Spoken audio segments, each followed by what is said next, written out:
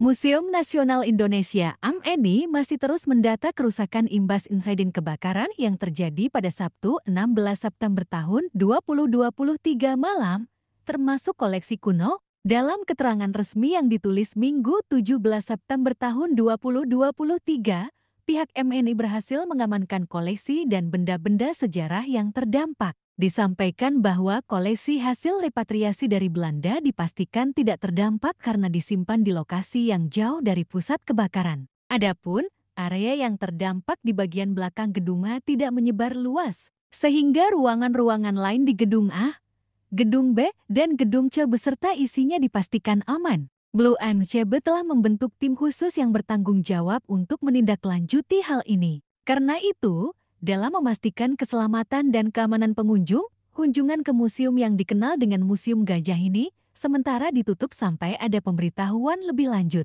Mengutip Kemendikbud, museum yang terletak di Jakarta Pusat ini berisi banyak sekali artefak dari zaman kolonial, arka-arka kuno, prasasti, dan barang-barang kuno lain. Seperti yang dikategorikan dalam bentuk etnografi, perunggu, prasejarah, keramik, tekstil, numismatik, relik sejarah, buku langka, dan benda berharga. Tercatat ada 140 ribu koleksi yang dimiliki oleh Museum Nasional. Koleksi yang menarik adalah patung Berawa. Patung yang tertinggi di Museum Nasional ini 414 cm merupakan manifestasi dari Dewa Lokeswara atau Awalokiteswara yang merupakan perwujudan bodhisatwa pancaran Buddha di bumi. Patung ini berupa laki-laki berdiri di atas mayat dan deretan tengkorak serta memegang cangkir terbuat dari tengkorak di tangan kiri dan keris pendek dengan gaya Arab di tangan kanannya. Diperkirakan, patung yang ditemukan di Padang Roko, Sumatera Barat ini berasal dari abad ke-13 sampai 14.